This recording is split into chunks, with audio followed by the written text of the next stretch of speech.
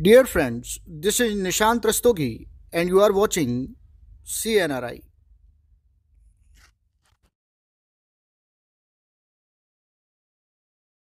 आइए अब इस क्वेश्चन को सॉल्व करते हैं। क्वेश्चन कह रहा है कि which of the following option is not correct अब भैया नॉट करेक्ट यानी इनकरेक्ट को सबसे पहले सर्कल करेंगे वरना करेक्ट वाला ऑप्शन जो होगा वो करेक्ट हो जाएगा वो टिक हो जाएगा। ठीक है ना? पहला कह रहा है कि the value of the Henry's constant K H is greater for the gases with higher solubility आपसे कह रहा है कि हेनरी लॉ कांस्टेंट की वैल्यू जो होती है, वो जो गैसेस ज़्यादा सॉल्बल होती हैं, उनके लिए ज़्यादा होती है। तो चलिए इसको हम फार्मूले से देख लेते हैं। देखिए, आपको याद आ रहा है कि हेनरी अगर फार्मूला आप लगाते हो तो ये जो है, वो आता है P equal to K H into X where P जो होगा वो प्रेशर ऑफ़ गैस होता है, ठीक है ना? ये जो होता है वो प्रेशर ऑफ़ गैस होता है एंड एक्स जो होता है वो मोल फ्रैक्शन ऑफ़ गैस होता है, ठीक है? मोल फ्रैक्शन ऑफ़ गैस होता है, ठीक है ना?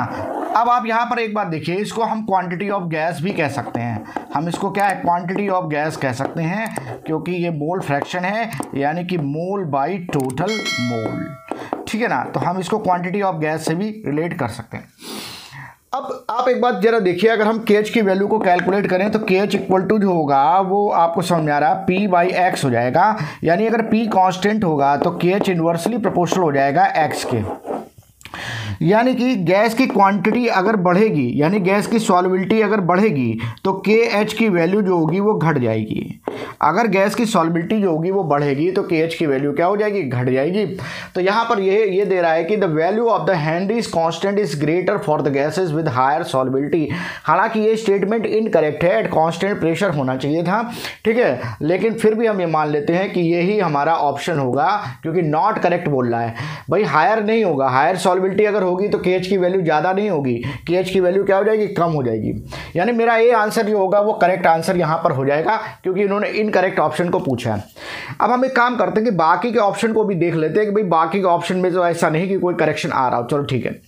तो कह रहा है कि the value of the molal depression constant depends on the nature of the solvent बिल्कुल सही है। मोलल डिप्रेशन कॉन्स्टेंट की वैल्यू जो होती है, वो सॉल्वेंट के नेचर पर ही डिपेंड करती है। ठीक है? सॉल्वेंट से ही आप उसके फॉर्मूले को भी जनरेट करते हैं तो इसलिए ये करेक्ट ऑप्शन है। इसके बाद कह रहा है कि relative lowering of the vapour pressure is dimensionless quantity ये भी ठीक है। भाई relative lowering of vapour pressure का फॉर्मूला आप क्या लगाते हो? P not minus P S by P not equal to क्या होता है? एक्स बी होता है। एक्स बी क्या है? मोल फ्रैक्शन यानी मोल बाई क्या हो जाएगा? मोल हो जाएगा। तो ठीक है डायमेंशन लेस जो होगी वो ये क्वांटिटी हो जाएगी। ठीक है? तो ये जो होगा, ये भी करेक्ट है। ठीक है? और आपको नॉट करेक्ट चाहिए। इसके बाद डी बोल रहा है कि the value of the hand is constant K H increases with increase in temperature अब देखिए, इसको इनडायरेक्ट वे में पूछा गया है, कैसे? देखो, अगर मान लो आपने क्या करा कि कोई भी कोई भी सॉल्वेंट आपने लिया और उसमें गैस को आपने क्या किया डिजोल्व किया। ठीक है ना? अब गैस जितनी भी डिजॉल्व हुई बट अगर आप इसको हीट करना शुरू कर दोगे तो गैस बाहर निकलनी शुरू हो जाएगी। यानी गैस की सॉलिबिलिटी जो होगी, वो डिक्रीज हो जाएगी। और जब गैस की सॉलिबिलिटी जो होगी, वो डिक्रीज हो जाएगी तो हैंड्री लॉ कॉन्स्टेंट की वैल्यू जो होगी, वो क्या हो जाएगी? इंक्रीज हो जाएगी। गैस की सॉलिबिलिटी डिक्रीज हो जाएगी तो हैंड्री लॉ कॉन्स्टेंट की वैल्यू क्या हो जाएगी? इंक्रीज हो जाएगी। मतलब क्या आपने टेम्परेचर बढ़ाया तो गैस की सॉलिबिलिटी जो होगी, वो क्या होगी डिक्रीज हो गई। और डिक्रीज होने पर हैंड्री लॉ कॉन्स्टेंट की वैल्यू क्या हो गई? इंक्रीज हो गई।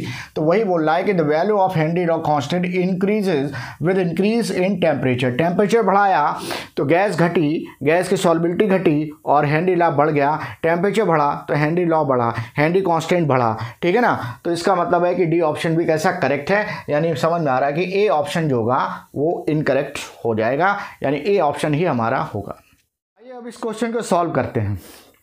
क्वेश्चन कह रहा है कि the electronegativities of hydrogen chlorine nitrogen oxygen and fluorine are 2.1 3.0 3.2 3.5 and 4.0 respectively the strongest bond is formed between आपसे कह रहा है कि अगर एलिमेंट की इलेक्ट्रोनिगेटिविटी की वैल्यू ये ये है तो इनके बीच में स्ट्रॉन्गेस्ट बॉन्ड किसमें फन, बनेगा? हमेशा ध्यान रखिएगा कि अगर आपको स्ट्रॉन्गेस्ट बॉन्ड की बात करनी है तो आप जो होता है, जो स्ट्रेंथ ऑफ़ बॉन्ड होती है जो स्ट्रेंथ ऑफ़ बॉन्ड होती है, वो डायरेक्टली प्रोपोर्शनल होती है डेल्टा ई एन के। जितना ज़्यादा इलेक्ट्रोनिगेटिविटी डिफरेंस होता है, उतनी बॉन्ड की स्ट्रेंथ जो होती है, वो क्या? ज़्यादा होती है।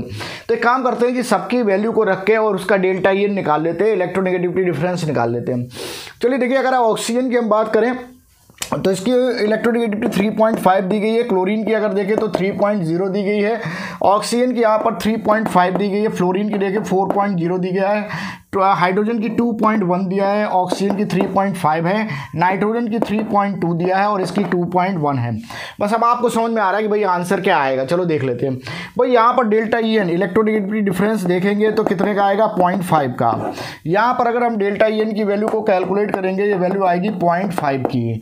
यहाँ पर डेल्टा ई एन को अगर हम कैलकुलेट करेंगे इलेक्ट्रोनिगेटिव डिफरेंस तो ये आएगा वन पॉइंट फोर और यहाँ पर अगर आप डेल्टा ई एन को कैलकुलेट कर रहे हो तो ये वैल्यू आ रही है वन पॉइंट वन ठीक है ना? यहाँ पर आपने 3.5 point five minus two point one किया 1.4 आएगा। 3.2 point two minus two point one किया 1.1 आएगा।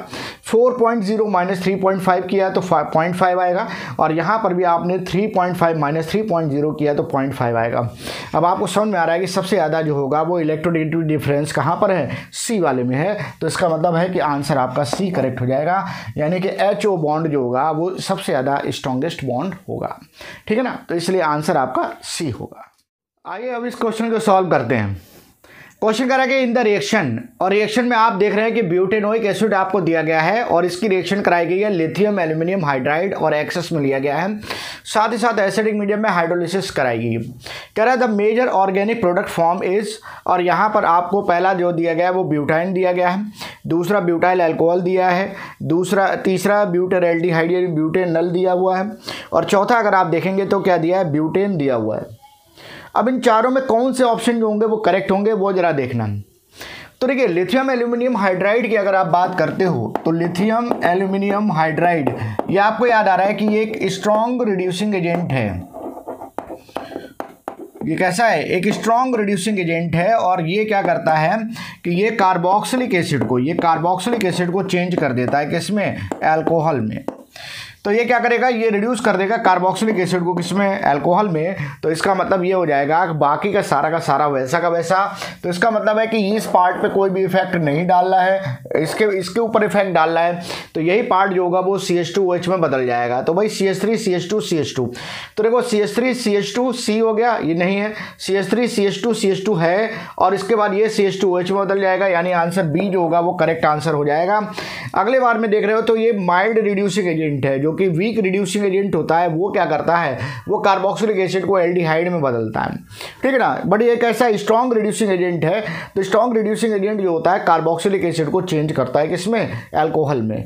तो यहाँ पर ये प्राइमरी एल्कोहल बन जाएगा, यानी बी ऑप्शन आपका करेक्ट ऑप्शन हो जाएगा। आइए अब इस क्वेश्चन को सॉल्व करते हैं।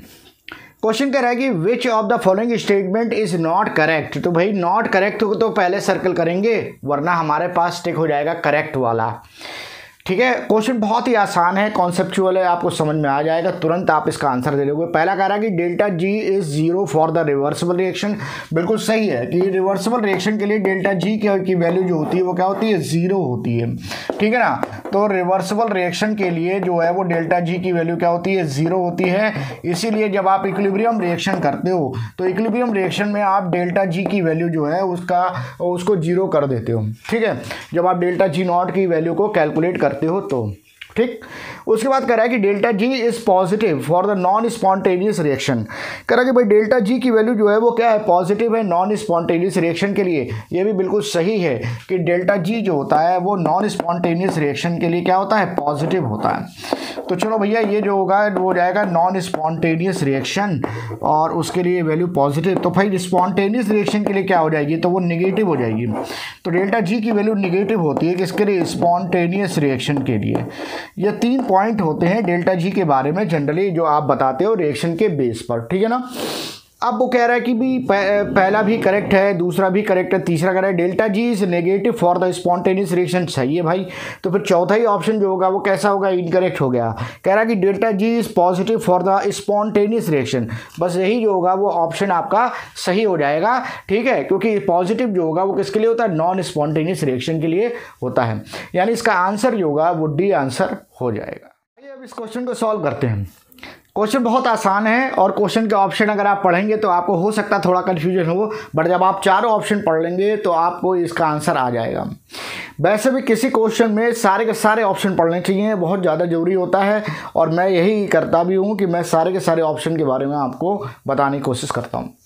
देखिए क्लोरोफिल इस पहला कह रहा है कि compound that makes C O two in plant बल्कि आपको याद आ रहा है कि प्लांट में सी ओ टू को का फॉर्मेशन जो होता है, वो क्लोरोफिल का काम नहीं है, ठीक है? उसका काम क्या फोटोसिंथेसिस कराना, ठीक है ना? दूसरा कह रहा है डिराइव्ड फ्रॉम हिम तीसरा कह रहा है अ डाई पायरॉल पिगमेंट और चौथा कह रहा है a green pigment containing magnesium बस भैया, आपको समझ में आ गया कि ये ग्रीन पिगमेंट कंटेनिंग मैग्नीशियम यानी इसका आंसर क्या हो जाएगा? इसका आंसर डी हो जाएगा। ये ग्रीन पिगमेंट है, जिसकी वजह से प्लांट का कलर भी जो होता है, वो ग्रीन होता है और ये फोटोसिंथेसिस करने का काम करता है। तो यहाँ पर इसका ऑप्शन जो होगा, वो डी हो जाएगा। और इसमें मेटल जो होता है, वो कौन सा होता है? मैग्नीशियम आइए अब इस क्वेश्चन को सॉल्व करते हैं। बहुत ही आसान क्वेश्चन है पॉलीमर का क्वेश्चन है, आपको तुरंत याद आ जाएगा। अभी एक मिनट में इसको सॉल्व हो जाएगा। कह रहा कि आइसोप्रीन और इसका आईयूपीएसी नेम दिया है two methyl one three butadiene is a basic unit of the polymer rubber is अब आप सोचो जरा कि आइसोप्रीन जो है वो किसकी बेसिक यूनिट है? तो मेरे हिसाब से आपको ऑप्शन समझ में आ गया। पहला कह रहा है ब्यूना एस रबर दूसरा कह रहा है न्यूप्रीन रबर तीसरा कह रहा है नेचुरल रबर और चौथा कह रहा है ब्यूना एन रबर और आंसर क्या है? इसका आंसर सी है। आंसर क्या है? नेचुरल रबर ठीक है ना? आपको समझ में आ रहा है? स्ट्रक्चर भी मैं इसका बना दे रहा हूँ। देखिए ब्यूटाडाइन बनाना है तो भाई चार कार्बन आप ले लो। और वन और थ्री पे डबल बॉन्ड लगाना है तो वन टू थ्री फोर तो वन के बाद डबल बॉन्ड आएगा और थ्री के बाद डबल बॉन्ड आएगा। और टू पे क्या आ जाएगा? टू पे मिथाइल आ जाएगा। बाकी आप इसको कंप्लीट कर दो। कार्बन ने डबल बॉन्ड बनाया तो सी एच टू हो गया। यहाँ चारों वैलेंसी कंप्लीट हो गई। यहाँ तीन बॉन्ड तो ये सी एच हो जाएगा। और यहाँ दो बॉन्ड तो सी एच टू हो जाएगा। ये जो है वो आपका आइसोप्रीन यूनिट है। और ये क्या करता है? पॉलीमराइज होकर नेचुरल रबड़ का फॉर्मेशन कर देता है। ठीक है ना? तो चलिए आंसर हो जाएगा।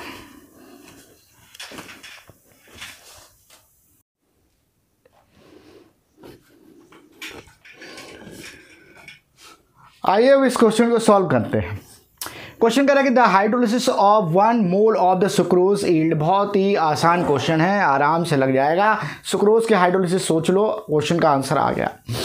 कह रहा कि टू मोल्स ऑफ़ गैलेक्टोज फिर कह रहा टू मोल्स ऑफ़ ग्लूकोज फिर कह रहा one mole of glucose and one mole fructose और फिर कह रहा one mole of glucose and one mole galactose तो आपके दिमाग में बिल्कुल बात फिट है क्या? कि अगर आप सुक्रोज की हाइड्रोलिसिस करते हो तो सुक्रोज की हाइड्रोलिसिस करने पर ग्लूकोज बनता है और फ्रक्टोज बनता है। ठीक है ना? अगर आप C twelve H twenty two O eleven sucrose की हाइड्रोलिसिस करते हो तो एक molecule C six H twelve O six और दूसरा C six H twelve O six जिसमें ये कीटोनिक कंपाउंड है और ये जो है वो कैसा है? एल्डिहाइडिक कंपाउंड है। समझ में आया ना? यानी ये ग्लूकोज है और ये क्या है? फ्रक्टोज है। ठीक है? तो इस तरह से आपको समझ में आ रहा है कि वन मोल ग्लूकोज और वन मोल फ्रक्टोज बनेगा। यानी आंसर सी जो होगा वह करेक्ट हो जाए आइए अब इस क्वेश्चन को सॉल्व करते हैं। क्वेश्चन कह रहा है कि which of the following halide shall produce isobutyl amine in phthalimide reaction और आपको चार ये ऑप्शन दिए गए और आपसे कह रहा है कि भाई आइसोब्यूटाइल अमीन को थैलीमाइड रिएक्शन में बनाएगा। देखिए थोड़ा सा अगर आप माइंड को सेट करेंगे तो ये आंसर आराम से क्लियर हो जाएगा। एक काम करते हैं कि सबसे पहले तो हम आइसोब्यूटाइल अमीन का स्ट्रक्चर बना लेते हैं कि क्या है। तो देखिए आइसोब्यूटाइल अमीन का मतलब क्या है कि भाई आइसोब्यूटाइल ग्रुप यानी कि ये तो हो गया आइसोप्रोपाइल और ब्यूटाइल कह रहा है तो भैया ये सी एच टू हो गया। ये मेरे पास हो गया क्या? आइसोब्यूटाइल ग्रुप हो गया। और अमीन लगा दें तो ये बन जाएगा क्या? एन एच टू बन जाएगा।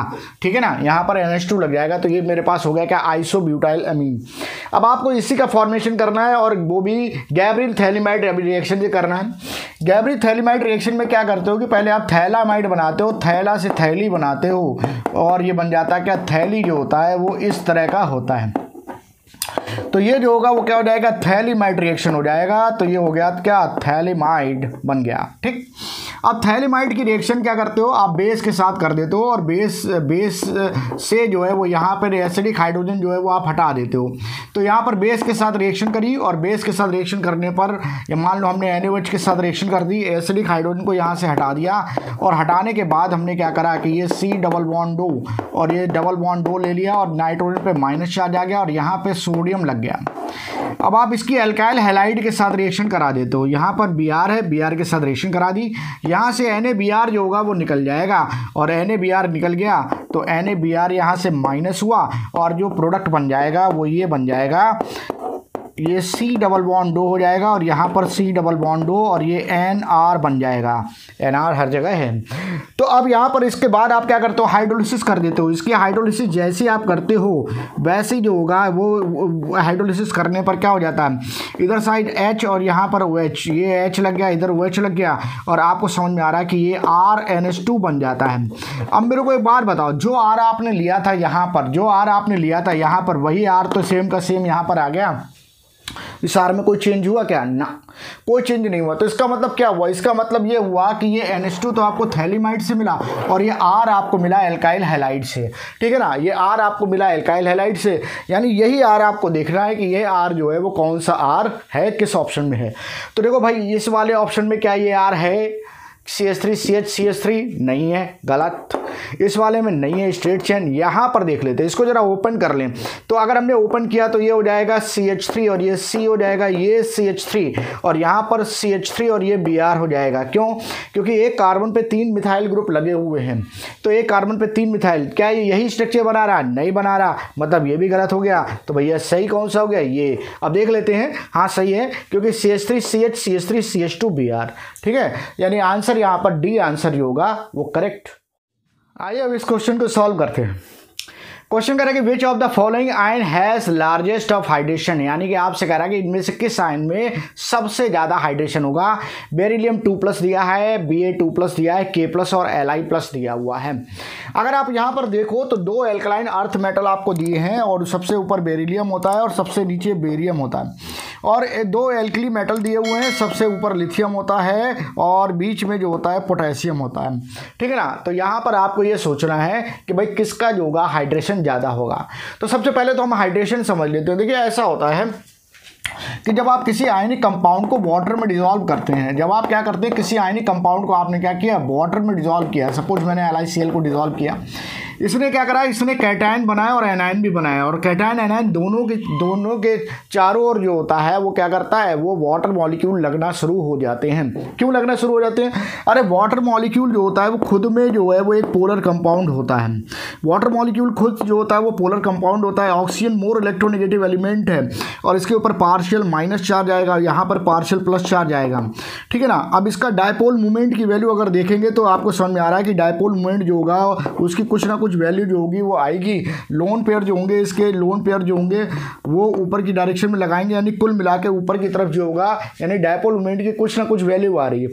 डायपोल मूवमेंट की वैल्यू आने का मतलब है कि ये कैसा कंपाउंड है? पोलर मॉलिक्यूल ये कैसा है? पोलर मॉलिक्यूल है। चलिए भाई, ठीक है। तो अब क्या होगा कि इसके, ये कैसा आयन है? ये कैटाइन है और कैटाइन के चारों तरफ़ निगेटिव पार्ट इसका लगना शुरू हो जाएगा। यानी कि वाटर का निगेटिव पार्ट कौन है? ऑक्सीजन तो ऑक्सीजन इसके चारों तरफ़ लगना शुरू हो गया। अब एक बात मेरे को बताओ, क्या यहाँ पे ऑक्सीजन जब इसके चारों तरफ़ अट्रैक्ट हो रहा है तो कोई एक बॉन्ड का फॉर्मेशन हो रहा है? हाँ भाई, हो रहा है। अट्रैक्शन फोर्स लग रही है attraction force is called bond तो यहाँ पर बॉन्ड का फॉर्मेशन हो रहा है। तो भाई बॉन्ड का फॉर्मेशन हो रहा है तो इसका मतलब है कि एनर्जी जो होगी, वो क्या होगी? रिलीज़ होगी। एनर्जी जो होगी, वो क्या होगी? निकलेगी। और इसी एनर्जी को नाम दे देंगे क्या? हाइड्रेशन एनर्जी इसी को क्या नाम दे देंगे, क्या हाइड्रेशन एनर्जी तो एक बात बताओ जरा, बहुत सारे अगर वाटर मॉलिक्यूल निकलेंगे तो बहुत सारी एनर्जी भी निकलेगी, यानी कि हाइड्रेशन बढ़ेगा। अगर हाइड्रेशन बढ़ेगा तो हीट ऑफ़ हाइड्रेशन भी बढ़ेगी। ठीक है ना? हीट ऑफ़ हाइड्रेशन जो होगा, उसकी वैल्यू भी क्या होगी? बढ़ जाएगी। तो कुल मिला के हमसे हीट ऑफ़ हाइड्रेशन नहीं पूछ रहा है यार, हमसे पूछ रहा है कि हाइड्रेशन कहाँ पर ज़्यादा होगा। अब एक बात बताओ, इस नेगेटिव पार्ट को खींचने के लिए क्या चाहिए? तो आप सीधे बोलोगे कि सर, जितना ज़्यादा पॉजिटिव चार्ज होगा, जितनी ज़्यादा चार्ज डेंसिटी होगी, उतना ही ज़्यादा जो होगा नेगेटिव पार्ट यानी कि वाटर मॉलिक्यूल ज़्यादा से ज़्यादा लगेंगे और उतना ही ज़्यादा हाइड्रेशन होगा।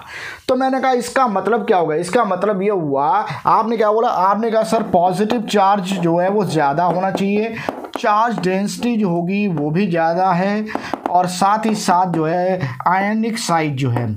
आयनिक साइज़ जो है, वो कम होना चाहिए। भाई आयनिक साइज़ कम होगा तो इसका मतलब है कि उसकी, उसका जेड इफ़ेक्टिव जो होगा, वो ज़्यादा होगा और उसकी वजह से वो इलेक्ट्रो नेगेटिव पार्ट को ज़्यादा खींचेगा। बस आप ज़रा सोचो साइज़ छोटा है तो इसका मतलब है कि ये कैंसिल हो गया, ये कैंसिल हो गया, इन दोनों में कंपटीशन हो गया बट इस पर प्लस चार्ज है और इस पर टू प्लस चार्ज है। तो भाई चार्ज ज़्यादा किस पे है? चार्ज ज़्यादा बेरिलियम पे है। यानी बेरिलियम जो होगा, वो क्या करेगा? वो ज़्यादा से ज़्यादा जो होगा वो माइनस को अपनी तरफ़ खींचेगा ऑक्सीजन को खींचेगा। ठीक है? एक बात और भी आप समझते हो कि आप पीरियोडिक टेबल में लेफ़्ट टू राइट जाते हो तो साइज़ जो होता है वो क्या होता है? घट जाता है। तो बेरिलियम का साइज़ जो होता है, वैसे लिथियम से कम होता है। तो उसकी वजह से सारे के सारे पैरामीटर यहाँ पर आ रहे हैं। तो बेरिलियम जो होगा, वो करेक्ट आंसर हो जाएगा। यानी आंसर ए जो होगा, वो करेक्ट हो जाएगा। लार्जेस्ट ऑफ़ हाइड्रेशन के लिए।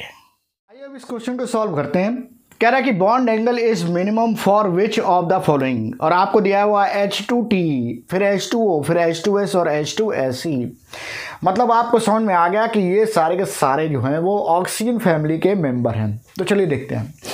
देखो, अब हमने क्या करा? हमने लिखा, भाई ऑक्सीजन ऑक्सीजन के बाद सल्फ़र के बाद आएगा सेलेनियम और सेलेनियम के बाद आएगा। क्या टेल्यूरियम अब यहाँ पर हमने सब जगह हाइड्रोजन को लगा दिया H two S H two O कर दिया H two S H two S C और एच टू टी कर दिया। ग्रुप में आप टॉप टू बॉटम जाओगे तो भाई बॉन्ड एंगल का क्या पंगा होता है, ये बात आपको भी पता है कि bond angle top to bottom जाने पर डिक्रीज करता है। अगर सराउंडिंग एटम जो होते हैं वो सेम होते हैं। तो यहाँ पर आपको समझ में आ रहा है कि सराउंडिंग एटम जो होंगे वो क्या है? सेम है, सारे के सारे क्या है? हाइड्रोजन है। तो बॉन्ड एंगल जो होगा वो इलेक्ट्रोनेगेटिविटी घटने के साथ साथ जो होता है वो घटता जाता है। दूसरी एक बात और भी है कि यहाँ पर क्या इस केस में जो होता है, इन तीन में जो होता है, वो एक रूल लगता है जिसको कहते हैं ड्रैगोज रूल ठीक है ना? ये जो होता है, वो ड्रैगोज रूल के अकॉर्डिंग भी होता है और इनका बॉन्ड एंगल जो होता है, वो अप्रॉक्सीमेट जो होता है, वो 90 डिग्री के आसपास होता है, जो कि घटता ही जा रहा है। बात समझ आई कि नहीं आई? तो अब इस हिसाब से आपको समझ में आ रहा है कि ये जो होगा, इसमें ऑप्शन जो होगा, वो एच टू टी जो होगा, वो करेक्ट ऑप्शन हो जाएगा। ड्रैगोस रूल आपसे ये कहता है कि अगर सराउंडिंग एटम की अगर आप इलेक्ट्रोनेगेटिविटी की बात करते हो और इलेक्ट्रोनेगेटिविटी 2.1 से कम आती है तो उस केस में जो होता है, उस केस में बॉन्ड जो हाइब्रिडाइजेशन होता है, वो नहीं होता है और वहाँ पर बॉन्ड एंगल जो होता है, वो अप्रॉक्सीमेट 90 डिग्री हो जाता है। ठीक है ना? तो यहाँ पर इसकी वैल्यू 3.5 है और धीरे धीरे ये वैल्यू घटती चली आ रही है। सही है ना?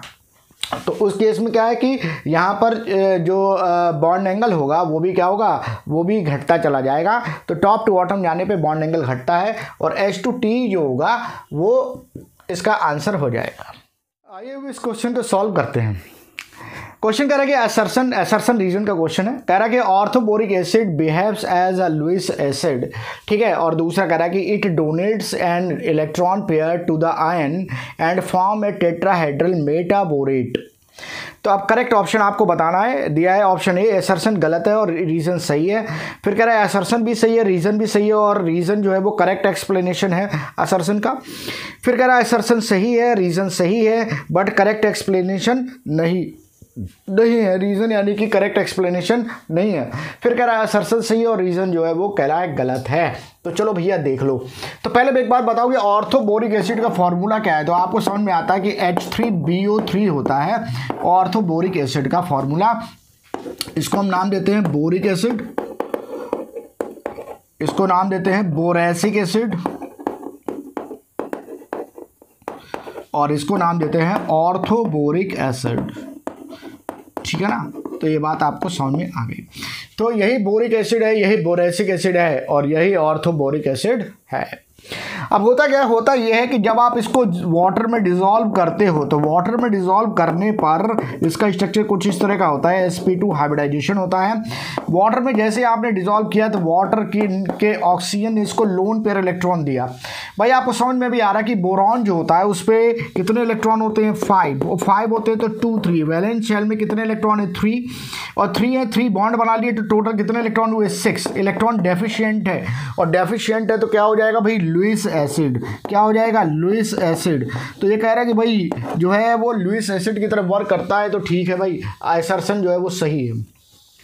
आपको समझ में आ रहा है कि वाटर के साथ ये रिएक्शन करता है। रिएक्शन करने के बाद में यहाँ से बोरॉन वाटर के ओ OH माइनस ने लोन पर इलेक्ट्रॉन दिया। यहाँ पर ये ओ OH, ये ओ OH आ गया ये ओ OH आ गया। B O OH whole four बना देता है। और प्लस यहाँ से एच प्लस जो होता है निकलता है जो कि इसके एसिडिक नेचर के लिए रिस्पॉन्सिबल होता है। बट ये एच प्लस जो आता है वो वाटर से आता है ना कि बोरिक एसिड से। बोरिक एसिड कोई भी एच प्लस आइन को रिलीज़ नहीं करता है। यानी कि बोरिक एसिड लुइस एसिड तो है। इलेक्ट्रॉन पेयर तो एक्सेप्ट करता है बट ये प्रोटिक एसिड नहीं है। क्यों? क्योंकि ये एच प्लस आइन नहीं देता है। एच प्लस साइन देगा तो होगा प्रोटिक एसिड तो प्रोटिक एसिड नहीं है, लेकिन लुइस एसिड है। चलो भाई, ठीक है, पहला हो गया। दूसरा करें भाई it donate electron pair to the ion and form a tetrahedral metaborate तो भाई, जरा समझो बोरिक एसिड को जब आप हीट करते हो तो हीट करने पर यह क्या करता है? वाटर ऑफ़ क्रिस्टलाइजेशन को रिलीज़ करके एच बनाता है, जिसको मेटाबोरिक एसिड कहते हैं। इसका बोरेट आयन अगर देख लो तो बी ओ टू माइनस जो होता है बोरेट आयन होता है, जो कि बोरेक्स बीड में, जो कि बोरेक्स बीड में जो होता है, वो कलर को भी प्रोड्यूस करने के लिए जो होता है, वो यूज़ किया जाता है। हालाँकि इससे बोरेक्स बीड नहीं होता है वो बोरेक्स आप लेते हो, वहाँ से बोरेक्स बीड बनता है बट वहाँ पर भी मेटा बोरेट बनता है। बात समझे ना? और ये जो होता है, ये ये इस तरह से नहीं बनता है कि भाई इलेक्ट्रॉन पेयर डोनेट कर दे रहा है और एक टेट्राहेड्रल इसकी शेप बन रही है। ज़्यादा से ज़्यादा एक ये साइक्लिक रिंग का फॉर्मेशन कर देता है। साइक्लिक रिंग में भी इसके थ्री मॉलिक्यूल्स आपस में लग जाते हैं। मैं बना के आपको दिखा दे रहा हूँ तो ये बी ओ हो गया, ये बी ओ हो गया और ये बी ओ हो गया। इस तरह से ये ओ माइनस हो जाएगा, यहाँ ओ माइनस हो जाएगा, ये ओ माइनस हो जाएगा। तो यहाँ पे क्या होता है कि B O two whole thrice three minus ये साइक्लिक रिंग होती है। ठीक है ना? तो इस तरह से स्ट्रक्चर बनाता है। तो यहाँ पर टेटाहेड्रल जैसा कोई मतलब ही नहीं होता है। और ना ही इलेक्ट्रॉन पेयर के थ्रू ये बनता है डोनेशन के थ्रू बनता है। यानी रीज़न जो होगा इसका कैसा होगा? रॉन्ग हो जाएगा। असरसन जो होगा इसका सही हो जाएगा। यानी मेरे पास आंसर जो होगा, वो क्या होगा? डी आंसर करेक्ट हो जाएगा। तो डी आंसर जो होगा, वो करेक्ट यहाँ पर हो जाएगा। आइए इस क्वेश्चन को सॉल्व करते हैं। क्वेश्चन करें कि which of the following outer electronic configuration is not correct तो भैया नॉट करेक्ट तो सबसे पहले सर्कल करना है और इन करेक्ट को ही हमको ढूंढना है। देखिए, बहुत ही आसान है। आउटर इलेक्ट्रॉनिक कन्फिग्रेशन दिया गया है। आराम से इसको सॉल्व कर देंगे बट फिर भी जो होती है, इसमें मिस्टेक हो जाती है। तो भाई आपको अगर मिस्टेक लगता है, अगर आसानी से लग गया, ठीक है, नहीं लगता है तो आप ऐसा करो, सबके इलेक्ट्रॉनिक कन्फिग्रेशन लिख लो, कोई दिक्कत नहीं है, दो मिनट के अंदर ये सॉल्व बल्कि एक मिनट में सॉल्व हो जाएगी। चलो देखते हैं। देखो ऑक्सीजन का एटॉमिक नंबर जो है वो कितना होता है? एट होता है तो ये हो जाएगा वन एस टू फिर हो जाएगा टू एस टू फिर टू पी फोर हो जाएगा। चार और चार, आठ इलेक्ट्रॉन हो गए, ठीक है ना? एल्यूमिनियम का कितना होता है? थर्टीन होता है तो ये हो जाएगा one s two two s two हो जाएगा टू पी सिक्स हो जाएगा। थ्री एस टू हो जाएगा। ये टेन इलेक्ट्रॉन हो चुके हैं और थर्टीन रखना है तो थ्री पी वन और यहाँ पर तो three s two three p three है। यानी यही मेरा इनकरेक्ट हो जाएगा। यानी बी ऑप्शन जो होगा वो इनकरेक्ट हो जाएगा। बोरॉन का और नाइट्रोजन का बताने की कोई ज़रूरत नहीं। चलो बता देते हैं। ये हो जाएगा one s two two s two और टू पी वन हो जाएगा। नाइट्रोजन का सेवन होता है तो ये हो जाएगा one s two two s two two p three चलो देख लो यहाँ two s two two p one है two s two two p three है। सही है। ठीक है? यानी कि इनकरेक्ट जो आपका ऑप्शन ऑप्शन आ जाएगा, वो ऑप्शन बी हो जाएगा। आइए अब इस क्वेश्चन को सॉल्व करते हैं। क्वेश्चन आपसे करा कि in Rosenmund reduction the compound reduced is Rosenmund reduction में कौन सा कंपाउंड जो होता है, वो रिड्यूस होता है? अब आपको याद आ रहा है रोजन मुंड रिडक्शन याद कीजिए। तो रोजन मुंड रिडक्शन में आप क्या करते हो कि आप एसिड हैलाइड की रिएक्शन कराते हो, इसके साथ में पैलेडियम और बी एस ओ फोर के साथ में, और इसको रिड्यूस कर देते हो। और काहे में रिड्यूस करते हो? एल्डिहाइड में। ये एक्चुअल में एल्डिहाइड की प्रिपरेशन होती है किससे? कार्बोक्सिलिक एसिड हैलाइड से। अब भाई जरा देख लो, यहाँ पर आपको दिया अमाइड नहीं होगा। एल्डिहाइड नहीं होगा। एसिड क्लोराइड होगा और एल्काइल साइनाइड नहीं होगा। ठीक है ना? यानी कि यहाँ पे आपके पास करेक्ट ऑप्शन जो होगा, वो सी होगा। आइए अब इसको सॉल्व करते हैं। कह रहा है which of the following has higher paramagnetic character आपसे कह रहा है कि भाई एन आई टू प्लस है एम एन टू प्लस है एफ़ ई टू प्लस है, और सी ओ टू प्लस में किसमें जो होगा, वो हायर पैरा मैग्नेटिक करेक्टर होता है। तो देखो, एक बात यहाँ पर समझ लो कि पैरामैग्नेटिक नेचर जो होता है, ये पैरामैग्नेटिक नेचर जो होता है, वो डायरेक्टली प्रोपोर्शनल होता है नंबर ऑफ़ अनपेयर्ड इलेक्ट्रॉन के। ठीक है ना? जितने ज़्यादा अनपेयर्ड इलेक्ट्रॉन होंगे, उतना ज़्यादा पैरामैग्नेटिक नेचर होता है। तो चलिए देख लेते हैं, उतना ही ज़्यादा मैग्नेटिक मूवमेंट भी होता है। अब यहाँ पर देखो, एक ट्रिक भी मैं आपको बता दे रहा हूँ कि जैसे सपोज़ करो कि निकल है। निकल का एटॉमिक नंबर कितना टू है, और ट्वेंटी एट है, और इस पर चार्ज कितना प्लस टू है। ठीक है ना? इसके बाद में आप आ जाते हो मैग्नीज पे तो मैग्नीज का एटॉमिक नंबर ट्वेंटी फाइव है चार्ज प्लस टू है। इसके बाद आप आते हो आयरन पे। एटॉमिक नंबर 26 है चार्ज प्लस टू है। और कोबाल्ट पे आप आते हो तो 27 है और चार्ज कितना है प्लस टू है। अगर कि, अगर थ्री ये सारे के सारे अगर आप देखो तो सारे के सारे जो हैं वो थ्री सीरीज़ के एलिमेंट हैं। थ्री सीरीज़ के एलिमेंट हैं। तो थ्री सीरीज़ में आप ये ट्रिक लगा सकते हो। अगर आपके पास में प्लस टू वाले आइंस हैं तो ये टू आप हटा दीजिए। जो भी इलेक्ट्रॉन्स बचेंगे, वो सारे के सारे जो होंगे डी के इलेक्ट्रॉन्स होंगे। मतलब कि एन आई टू प्लस में क्या हो जाएगा? Three d eight three d series के है ना? तो इसमें क्या हो जाएगा? थ्री डी एट इसमें क्या हो जाएगा? थ्री डी फाइव इसमें क्या हो जाएगा? थ्री डी सिक्स और यहाँ पर क्या हो जाएगा? थ्री डी सेवन ठीक है ना? तो ये जो है वो थ्री डी सीरीज़ में लगती है कि आप यहाँ पर टू हटा सकते हो और बाकी बचे हुए इलेक्ट्रॉन्स जो हैं वो किसके होंगे? डी के। अब ये टू क्यों हटा दिया भाई? टू जो है वो एस के इलेक्ट्रॉन यहाँ से निकल जाएँगे ना। ठीक है? तो अब यहाँ पर आप इसको लगा सकते हो। क्रोमियम में भी आप ये लगा सकते हो। क्रोमियम क्या हो जाएगा? ट्वेंटी फोर आप टू हटा दो तो क्या हो जाएगा? थ्री डी फोर कब हो जाएगा? C C R two plus में। कैसे? भाई देखो, इसका इलेक्ट्रॉनिक कन्फिग्रेशन होता है four s one three d five आपने एक इलेक्ट्रॉन निकाला, यहाँ से गया, एक इलेक्ट्रॉन निकाला, यहाँ से गया तो बचा क्या? थ्री डी फोर बचा ना? तो इसलिए इस ट्रिक में कोई कन्फ्यूज़न मत रखना, इस तरह से लग जाएगा। अब आपको एक बात समझ में आ गया कि ये क्या हो जाएगा? आर्गन हो जाएगा थ्री डी एट हो जाएगा। अब ये थ्री डी एट हो जाएगा तो जरा थ्री डी एट को देख लो, ठीक है ना? तो यहाँ पर होगा one two three four five six seven eight यानी कि यहाँ पर अनपेड इलेक्ट्रॉन कितने हैं? दो हैं।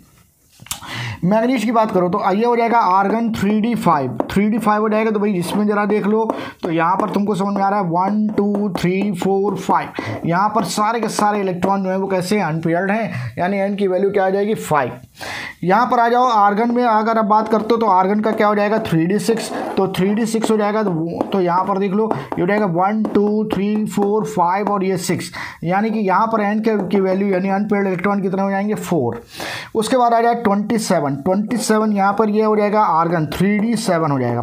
ठीक है ना? अब थ्री डी सेवन हो जाएगा तो यहाँ पर अगर आप देखते हो तो ये हो जाएगा one two three four five six seven यानी यहाँ पर अनपेड इलेक्ट्रॉन कितने? थ्री हैं पैरामैग्नेटिक नेचर के लिए कितने ज़्यादा चाहिए? ज़्यादा से ज़्यादा अनपेड इलेक्ट्रॉन ज़्यादा से ज़्यादा कहाँ मिलेंगे? मैग्नीज में।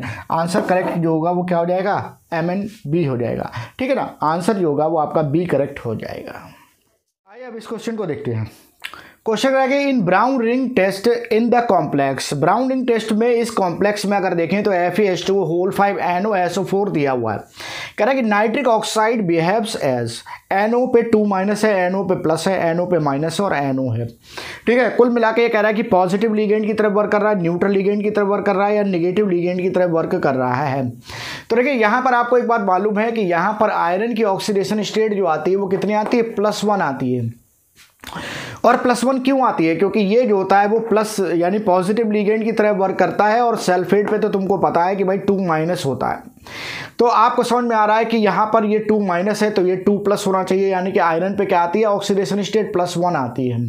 ठीक है? आयरन जो होता है, वो प्लस वन ऑक्सीडेशन स्टेट इस कॉम्प्लेक्स में शो करता है, और ये जो होता है, वो एनओ प्लस के फॉर्म में जो होता है, वो वर्क करता है, और इस केस में जब इसका नाम लिखते हैं, यहाँ पर आई नेम जब लिखते हैं तो उसमें हम इसको लिखते हैं नाइट्रोसोनियम और या फिर हम इसको लिखते हैं नाइट्रोसाइलियम। ठीक है ना? नाइट्रोसोनियम भी लिखा जाता है इसके लिए और नाइट्रोसाइलियम भी लिखा जाता है और आप इसको कंपेयर कर सकते हो किसको? कार्बोनियम से। किससे कर सकते हो? कार्बोनियम। ईएम आ गया मतलब क्या है? पॉजिटिव चार्ज है। तो यहाँ पर क्या है कि ये एनो जो है एनो प्लस की तरह जो होता है नाइट्रिक ऑक्साइड एनो प्लस की तरह जो होता है लीगेंड की तरह बिहेव करता है। आंसर जो होगा बी करेक्ट हो जाएगा। आइए अब इस क्वेश्चन को सॉल्व करते हैं। क्वेश्चन आपसे कह रहा है कि which reason brings about the following conversions आपको दिया हुआ है अल्कोहल और अल्कोहल से यहाँ से क्या हुआ? ये पेंटागोलन रिंग है साइक्लोपेंटेन है और ओवेच से बी आर को बस चेंज कराया गया है। तो आप सोचो कि अगर अल्कोहल से आपको एल्काइल हेलाइड बनाना है तो उस केस में आप किस रीजेंट का यूज़ करेंगे? क्या ब्रोमिन वाटर का यूज़ करेंगे? नहीं करेंगे। क्या आप एन ए बी आर का यूज़ करेंगे? ना। क्या पी बी आर थ्री का यूज़ करेंगे? हाँ भाई, करेंगे। हम फॉस्फोरस के साथ में आयोडीन मिलाते हैं और एल्कोहल से एल्काइल हेलाइड बनाते हैं। ठीक है ना? यानी कि यहाँ पर आंसर जो होगा वो सी करेक्ट हो जाएगा। तो आपको समझ में आ रहा है कि आपने क्या किया? साइक्लोपेंटेनॉल की रिएक्शन करा दी किसके साथ में? पी बी आर थ्री के साथ। हालाँकि ये P plus B R two लेते हैं और आयोडीन के केस में तो फिर वो तो स्टेबल ही नहीं होता है तो पी प्लस आई टू ही लिया जाता है। इन्होंने P B R three option दिया है तो यही आंसर जो होगा वो करेक्ट हो जाएगा। B R two C C L four जो होता है, इसका यूज़ जो होता है, वो ज़्यादातर एल्कीन के लिए किया जाता है। ठीक है ना? तो यहाँ पर एल्कोहल के लिए एल्कोहल से एल्काइल हेलाइड बनाने के लिए जो है, वो हम यूज़ करते हैं पी बी आर थ्री को। आंसर सी करेक्ट हो जाएगा। आइए अब इस क्वेश्चन को देखते हैं। क्वेश्चन कह रहा है कि the product form in the reaction sequence आपको साइक्लोहेक्सेनॉल दिया है और concentrate H two S four और साथ में बी आर टू के साथ रिएक्शन कराई गई है। अब अगर आप ऑप्शन ए में देखो तो दोनों जो हैं वेज पे दिए गए हैं बी आर अगर आप यहाँ पर देखो तो बी आर डैश पे है और एच वेज पे है। यहाँ पर देखो तो दो बी आर जो है वो अलग अलग एक वेज पे, एक डैश पे है। और अगर यहाँ पर देखो तो हाइड्रोजन डैश पे है और ये वेज पे है। ठीक है ना? तो अगर हम देखें तो भाई चलो पहले रिएक्शन को देख लेते हैं, फिर आंसर को देखते हैं। देखो, आपको ये याद आ रहा है कि अगर आपको क्या करना है अल्कोहल से वेच हटाना है तो एसिडिक मीडियम को लाना है। तो यहाँ पर आपने क्या करा concentrate H two S four मिलाया तो उसने H प्लस दिया और H प्लस को इसने लोन पर इलेक्ट्रॉन दिया और देने के बाद इसने गुड लिविंग ग्रुप बना दिया। और ये बन गया क्या? गुड लिविंग ग्रुप बन गया और गुड लिविंग ग्रुप का काम है लीव करना। तो अब ये लीव हो जाएगा। तो यहाँ से क्या हुआ कि वाटर जो होगा वो लीव हो गया और लीव होने के बाद में ये बन जाएगा साइक्लोहेक्साइलियम अब इसी के पड़ोस का हाइड्रोजन जो होगा वो यहाँ से रिलीज़ होगा और रिलीज़ होने के बाद ये यहाँ से H प्लस के फॉर्म में रिलीज़ हो जाएगा और ये बन जाएगा क्या? साइक्लोहेक्सीन का फॉर्मेशन हो जाएगा। ये मेरे पास क्या बन गया? साइक्लोहेक्सिन बन गया। अब इसका हमको करना है क्या? ब्रोमिनेशन और ब्रोमिनेशन की प्रोसेस आपको याद आ रही है कि एंटी एडिशन होती है। ठीक है ना? ये प्रोसेस कैसी होती है? एंटी एडिशन होती है। एंटी एडिशन का मतलब ये होता है कि दोनों ब्रोमीन जो होते हैं, वो कैसे लगते हैं? अपोजिट साइड में लगते हैं। ब्रोमोनियम आइन के थ्रू तो आपको समझ में आ रहा है कि यहाँ पर क्या होगा? यहाँ पर अगर ये जो होगा, वो बैज पे जाएगा। अगर यहाँ पे ब्रोमीन भाई यहाँ ब्रोमीन लगेगा, यहाँ ब्रोमीन लगेगी डबल वन टूटेगा तो ये वाला कहाँ जाएगा? डैश पे। ये जो है वेज पे, वो जाएगा डैश पे। तो समझ में आ रहा है कि भाई वेज और डैश वाला यानी ऑप्शन सी जो होगा, वो करेक्ट ऑप्शन हो जाएगा। ठीक है ना? तो इस तरह से पहले आपने प्रोसेस को देख लिया और उसके बाद आंसर इसका सी करेक्ट कर दिया। आइए अब इस क्वेश्चन को सॉल्व करते हैं। अगर इस क्वेश्चन को देखें तो कह रहा है कि the enthalpy of the element in the standard state are आपसे कह रहा है कि भाई इस स्टैंडर्ड स्टेट में आपको इंथैल्पीज की बात बतानी है कॉन्सेप्चुअल क्वेश्चन है।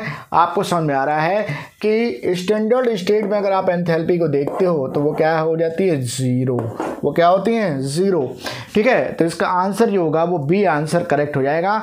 लिखा है कि डिफरेंट फॉर ईच एलिमेंट नहीं होगा। यूनिटी नहीं कह सकते हैं। लेस देन ज़ीरो तो भाई माइनस भी होता है प्लस में भी होता है। समझ हो ना? तो इसलिए कन्फ्यूज़न दिमाग में रहेगा।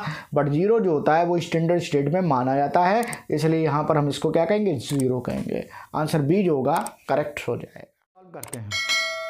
क्वेश्चन करेंगे सहसविकता अवंध सिद्धांत के आधार पर समझाइए।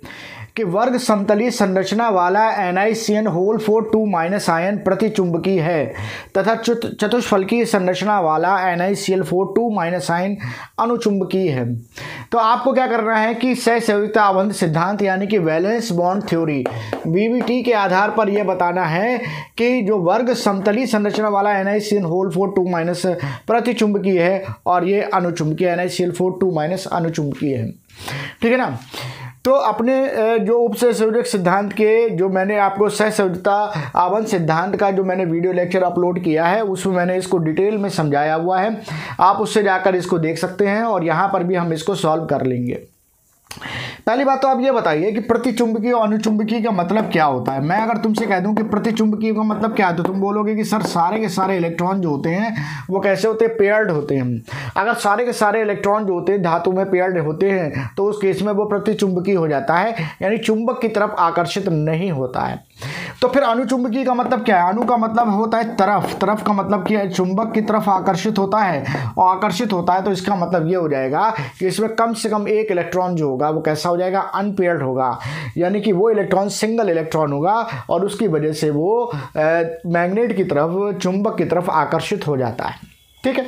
तो अब यहाँ पर हम क्या करेंगे? इनकी संरचना भी बनाएँगे और संरचना बनाने के साथ साथ इसको देखेंगे कि भैया, ये जो है वो चतुष् फल की संरचना बना रहा है, ये वर्ग समतली संरचना बना रहा है और ये प्रतिचुंबकी और ये अनुचुंबकी है, ऐसा क्यों?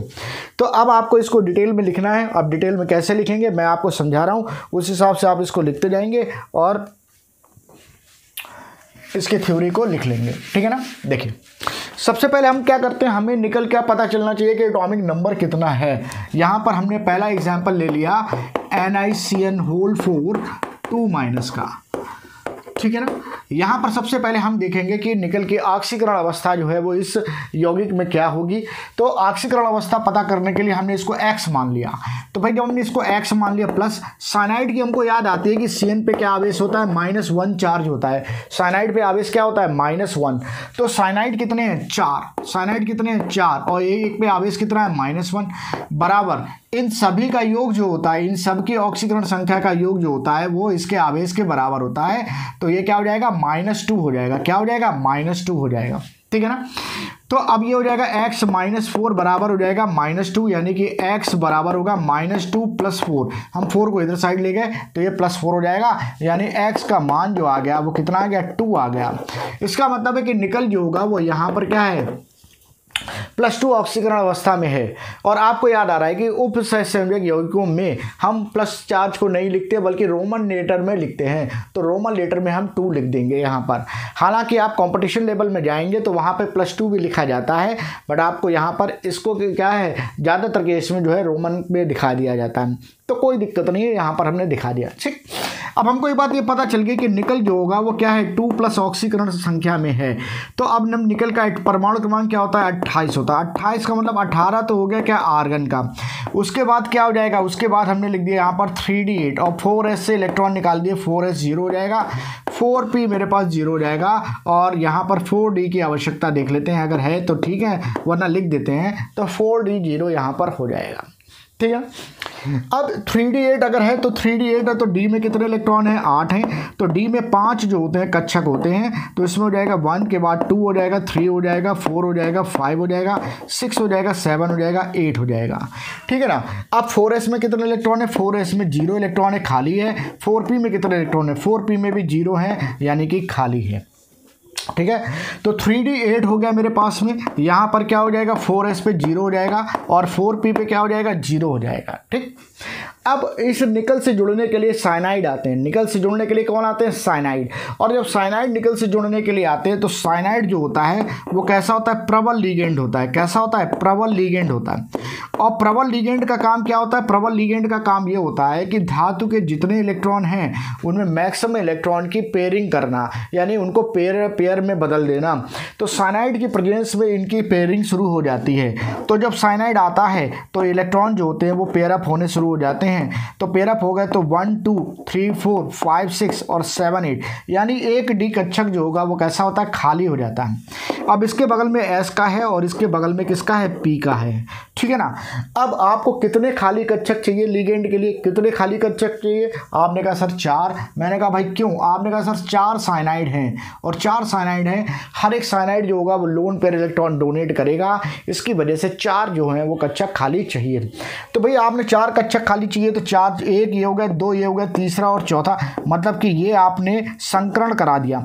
अब ये संकरण हुआ क्या? ये संकरण हुआ डी एस पी टू ये संकरण क्या हो गया? डी एस पी टू संकरण हो गया। डी एस पी टू संकरण से क्या हुआ? चारों के चारों जो कक्षक बने, वो सारे के सारे एनर्जी लेवल में क्या थे? सेम थे। उनका ऊर्जा लेवल जो था, वो क्या था? सेम था। और अब ये चारों के चारे खाली बन गए। अब इन चारों में साइनाइड आयन आएगा और लोन पेयर इलेक्ट्रॉन डोनेट करके यौगिक बनाएगा। तो इसने लोन पेयर इलेक्ट्रॉन डोनेट कर दिए और ये यौगिक बन गया। ठीक है ना? अब आप यहाँ पर देखो, धातु के ऑर्बिटल ये वाले भी हैं और ये वाले भी हैं। क्या इनमें कोई भी अनपेयर्ड इलेक्ट्रॉन है? अनपेयर्ड इलेक्ट्रॉन का मतलब कोई भी सिंगल इलेक्ट्रॉन है और अयुग्मित इलेक्ट्रॉन है। नहीं, आप बोल रहे हो सारे के सारे कैसे युग्मित इलेक्ट्रॉन है। और जब युग्मित इलेक्ट्रॉन है तो उस केस में ये कैसा हो जाएगा? प्रतिचुंबकीय हो जाएगा। कैसा हो जाएगा? प्रतिचुंबकीय हो जाएगा। तो आप यहाँ पर लिखोगे कि यहाँ पर आपने सहसंयोजकता अवंध सिद्धांत के अनुसार यह ये देखा है कि जो साइनाइड होता है, वो एक प्रबल लिगेंड होता है और प्रबल लिगेंड होने की वजह से ये इलेक्ट्रॉन को क्या करता है पेयरअप करता है। और पेयरअप करने के वजह से, हालाँकि ये प्रबल लिगेंड की कहानी जो है, वो CFT ने दी थी क्रिस्टल फ़ील्ड थ्योरी ने दी थी। ठीक है ना? तो क्रिस्टल फ़ील्ड जो बाद होगा, वहाँ पर हम इसको पढ़ेंगे सिद्धांत होगा, वहाँ पर इसको पढ़ेंगे। लेकिन अब चूँकि इसको समझना है तो समझने के लिए यहीं पर ही इसको बता दिया जाता है। तो अब ये इलेक्ट्रॉन की पेयरिंग हो गई। अब उसकी वजह से क्या हुआ कि ये चार जो हैं, वो कच्छक, जो कि लोअर एनर्जी के थे, वो खाली हो गए। और खाली होने पर इन्होंने आपस में संकरण कर लिया। लगभग बराबर ऊर्जा के ऑर्बिटल हैं, कच्छक हैं। और संकरण करने के बाद चारों कच्छक में साइनाइड ने लोन पर इलेक्ट्रॉन दे दिया। संकलन डीएसपी टू होता है तो डीएसपी टू में संरचना जो बनती है, वो वर्ग समतलीय संरचना बनती है। वर्ग समतलीय संरचना बनती है। आप यहाँ पर बना भी सकते हो वर्ग समतलीय संरचना। देखो, ये क्या बना दिया? आपने वर्ग बना दिया। तो निकल जो होगा, वो इसके सेंटर पे हो जाएगा। अब चार साइनाइड जो होंगे, वो इसको क्या करेंगे? लोन पेयर इलेक्ट्रॉन देंगे। चार साइनाइड जो होंगे इसको लोन पेयर इलेक्ट्रॉन देंगे तो इसका कार्बन जो होगा इसको लोन पेयर इलेक्ट्रॉन देता है और बाहर की तरफ़ आप लगा दोगे क्या? Two minus. बात समझे? बाहर की तरफ़ आपने क्या लगा दिया? टू माइनस लगा दिया। ये N I C N whole four two minus की संरचना बन गई, जो कैसी है? वर्ग समतली है। कैसा यौगिक है? ये प्रतिचुंबकी है। तो इस तरह से आपने पहला पॉइंट आपने दिखा दिया। अब चलिए दूसरा पॉइंट भी हम देख लेते हैं N I C L four two minus sign का, कि ये अनुचुंबकी क्यों है? ठीक है? और वो भी सहसंयोगता आबद्ध सिद्धांत के अनुसार। तो चलिए देखते हैं इसको।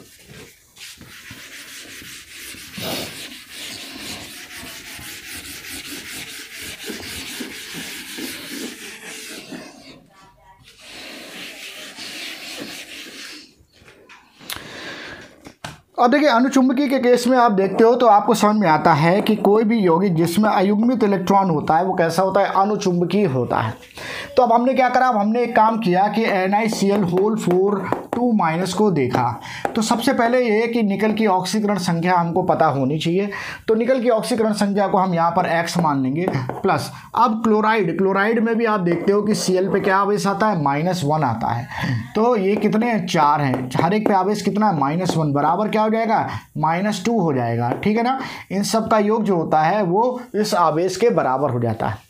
अब ये क्या हो जाएगा? ये हो जाएगा एक्स माइनस फोर बराबर क्या हो जाएगा? माइनस टू तो यहाँ पर एक्स बराबर माइनस टू प्लस फोर, यानी कि एक्स बराबर हो जाएगा प्लस टू।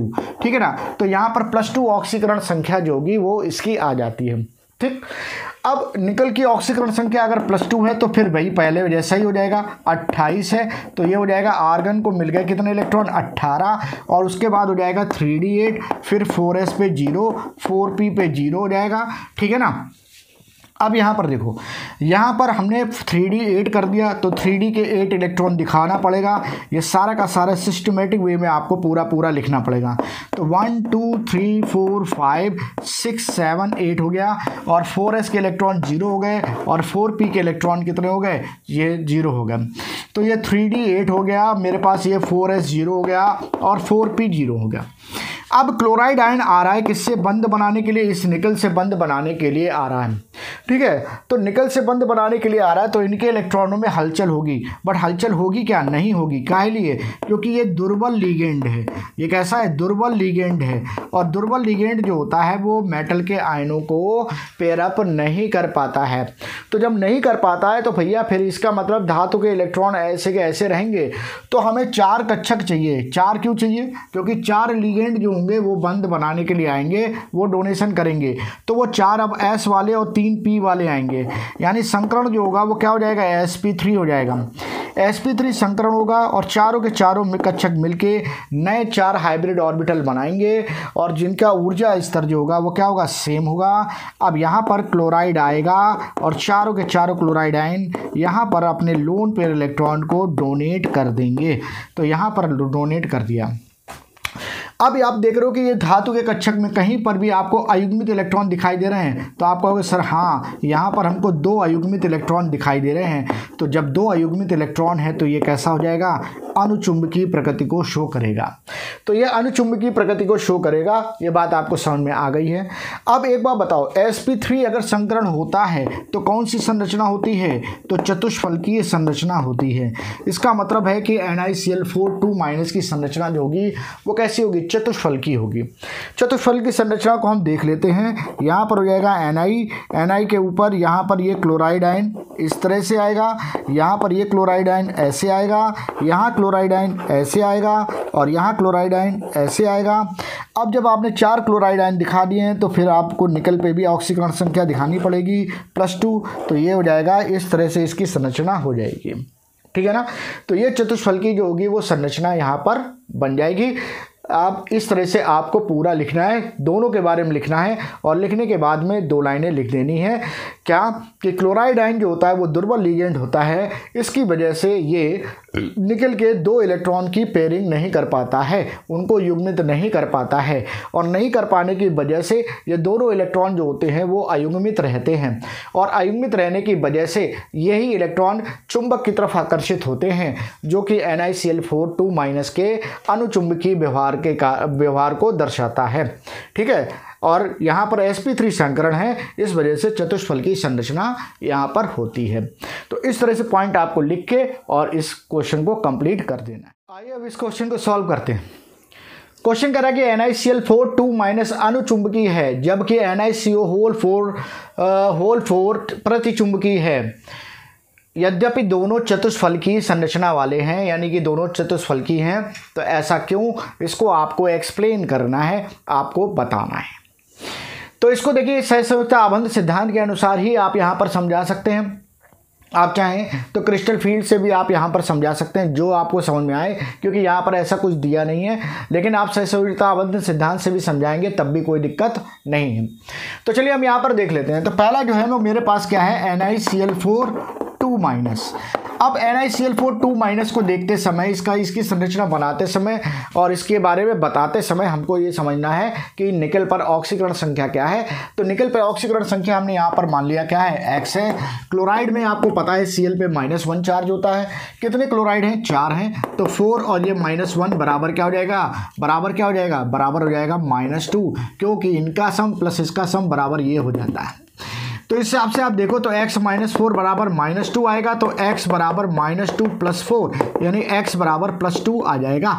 निकल की प्लस टू ऑक्सीकरण संख्या यहाँ पर आ जाएगी। अब जब निकल की प्लस टू ऑक्सीकरण संख्या यहाँ पर आ जाएगी तो निकल का परमाणु क्रमांक होता है ट्वेंटी एट जिसमें कि अट्ठारह मिल गए किसको आर्गन को तो फिर हो जाएगा थ्री डी एट और फिर ये फोर एस ज़ीरो फिर फोर पी ज़ीरो इस तरह से हम यहाँ पर इसको लिख देते हैं। अब थ्री डी एट में अगर आप देखो तो थ्री डी एट में निकल पे अगर हम देखें तो निकल पे कितने इलेक्ट्रॉन है? One two three four five six seven eight और फोर एस पे कितने? ज़ीरो और फोर पी कितने हैं? इलेक्ट्रॉन ज़ीरो ठीक। अब क्लोराइड आयन इससे बॉन्ड बनाने के लिए आता है। क्लोराइड आयन जब इसके बॉन्ड बनाने के लिए आता है तो जब कोई भी लिगेंड बॉन्ड बनाने आता है तो मेटल के इलेक्ट्रॉन्स जो होते हैं, वो उनमें मूवमेंट होता भी है और नहीं भी होता है। ये डिपेंड करता है कि लिगेंड कितना ज़्यादा प्रबल है, कितना स्ट्रांग है। प्रबल लिगेंड जो होते हैं, वो क्या करते हैं? वो इलेक्ट्रॉन को युग्मित कर देते हैं। और अगर वो इलेक्ट्रॉन को युग्मित करते हैं तो उसकी वजह से इनका करेक्टर जो होता है, वो प्रतिचुंबकीय हो जाता है। ये कौन काम करता है? प्रबल वाले करते हैं। कौन करते हैं? प्रबल वाले। और अगर दुर्बल वाला है तो वो इलेक्ट्रॉन का युग्मन नहीं कर पाता है, यानी कि वो इलेक्ट्रॉन अयुग्मित ही रहते हैं और उसकी वजह से इसका व्यवहार आडुचुंबकीय हो जाता है। और ये कौन करता है? ये करता है दुर्बल लीगेंड। तो एक्चुअल में क्लोराइड आइन कैसा होता है? क्लोराइड आइन एक दुर्बल लीगेंड होता है और दुर्बल होने की वजह से ये इन इलेक्ट्रॉन की पेयरिंग नहीं कर पाता। तो अब अगर इन लिगेंड को अपने दो दो इलेक्ट्रॉन दे, दे डोनेट करने हैं तो उनको खाली कक्षक कौन से चाहिए होंगे? फिर आगे वाले। आगे का मतलब एस के एक और पी के तीन। यानी एस पी थ्री संकरण हो जाता है और चार एस पी थ्री संकरित कक्षक जो हैं वो बन जाते हैं जिनका ऊर्जा लेवल सेम होता है। अब अब क्लोराइड आइन जो है वो आएँगे और इनमें डोनेट कर देंगे इलेक्ट्रॉन पेयर को। तो ये इलेक्ट्रॉन पेयर को डोनेट कर दिया। अब जरा धातु के ऑर्बिटल को देखिए, धातु के कक्षक को देखिए। तो यहाँ पर आपको समझ में आ रहा है कि ये दो कैसे हैं, अयुग्मित इलेक्ट्रॉन हैं। और जब दो अयुग्मित इलेक्ट्रॉन हैं तो इसकी वजह से इसका लक्षण कैसा है? अनुचुंबकी है।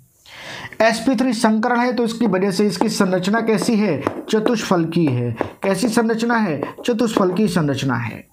यानी कि निकल जो होगा, वो कुछ इस तरह से आएगा, ये क्लोराइड आइन ठीक है ना? यहाँ पर ये क्लोराइड आइन यहाँ पर ये क्लोराइड आइन यहाँ पर ये क्लोराइड आइन ठीक है? और इसके चारों तरफ़ आप लगा दोगे क्या? टू माइनस जैसे ये बना हुआ है। ठीक है ना? तो ये चतुष्फल की संरचना को प्रदर्शित करेगा। तो अब आप इसमें क्या लिखोगे? आप इसमें लिखोगे भाई N I C L four two minus में निकल के ऊपर में प्लस टू ऑक्सीकरण संख्या होती है, जिसकी वजह से इसका इलेक्ट्रॉनिक विन्यास three d eight four s zero four p zero होता है। अब यानी इसके आगे फोर डी करेंगे तो वो भी ज़ीरो हो जाएगा। अब जब क्लोराइड आयन इस पर बॉन्ड बनाने आता है, बंद बनाने के लिए आता है, उपसंयोजक बंद बनाता है तो उस केस में क्लोराइड आयन के दुर्बल होने की वजह से धातु के इलेक्ट्रॉन की का युग्मन नहीं हो पाता है, उनकी पेयरिंग नहीं हो पाती है। और जब युग्मन नहीं हो पाता है तो उस केस में दो यहाँ पर अयुग्मित इलेक्ट्रॉन मिल जाते हैं, जो कि इस यौगिक के अनुचुंबकीय लक्षण की, को दिखाते, को प्रदर्शित करते हैं, क्योंकि ये यौगिक जो होता है वो चुंबक की तरफ़ आकर्षित हो जाता है। यहाँ पर अगर हम देखें तो यहाँ पर एक एस और तीन पी के ऑर्बिटल यहाँ पर लिए गए हैं कच्छक लिए गए हैं। तो वो कच्छक एस पी थ्री संकरण को प्रदर्शित आ, मतलब संकरण को करेंगे जिनमें कि चार नए संकरित कच्छक बनेंगे जिनका ऊर्जा लेवल समान होगा और उन पर चार क्लोराइड आयन जो लीगेंड की तरह हैं वो अपने लोन पर इलेक्ट्रॉन को डोनेट करके चतुष्फल की संरचना का निर्माण करते हैं। तो इस तरह से सहसंयोजकता सिद्धांत के आधार पर आप ये बता सकते हो कि एन आई सेल फोर टू माइनस जो है वो कैसा है, वो अनुचुंबकीय नेचर का है और साथ ही साथ चतुष्फल की संरचना भी दिखाता है। अब चलिए हम देखते हैं कि N I C O whole four जो होता है, वो प्रतिचुंबकीय है तो ऐसा क्यों? ठीक है तो चलिए देख लेते हैं इसको।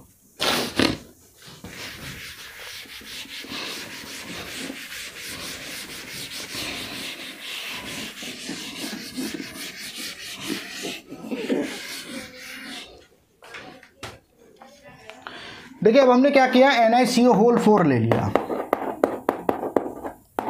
यहाँ पर भी आपको क्या करना है? निकल की ऑक्सीकरण संख्या पता करनी है। तो निकल की ऑक्सीकरण संख्या एक्स मान ली प्लस अब देखिए, ये जो है, वो सीओ जो है, इसको बोलते क्या है? इसको बोलते हैं कार्बन मोनो ऑक्साइड इसको क्या बोलते हैं? इसको बोलते हैं कार्बन मोनो ऑक्साइड ठीक है ना? लेकिन जब ये धातु के साथ होता है तो इसका नाम बदल जाता है और इसको हम नाम देते हैं कार्बोनिल तो यहाँ पर निकल कैसी है धातु है? और धातु के रूप में, धातु को ये क्या कर रहा है? लोन पर इलेक्ट्रॉन दे रहा है। तो ये क्या कर रहा है? लीगेंड की तरह व्यवहार कर रहा है। और जब भी ये लीगेंड की तरह व्यवहार करेगा तो हम इसको नाम दे देंगे कार्बोनिल। अच्छा अब सीओ जो होता है कार्बन मोनोऑक्साइड कैसा ही होगी, कितनी ऑक्सीकरण संख्या होगी तो आप कहोगे, सर ज़ीरो ऑक्सीकरण संख्या होगी, क्योंकि सीओ जो होता है, उदासीन यौगिक होता है। तो ठीक है भाई ज़ीरो है तो कितने हैं ये? चार हैं, और ऑक्सीकरण संख्या ज़ीरो और इन सभी का सम सभी का सम इसके ऊपर जो आवेश होगा, उस पर आवेश तो ज़ीरो है, यानी ये भी क्या होगा? ज़ीरो हो गया।